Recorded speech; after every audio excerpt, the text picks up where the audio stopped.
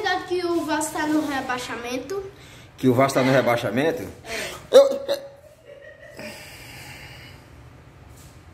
É, meu filho, realmente, infelizmente, tá sim. O Vasco está no rebaixamento.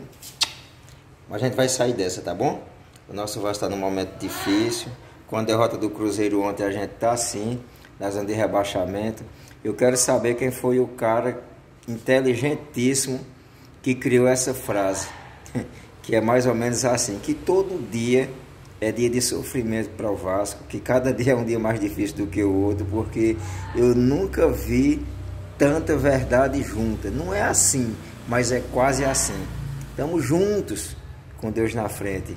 Prevalece o amor, o carinho e a amizade.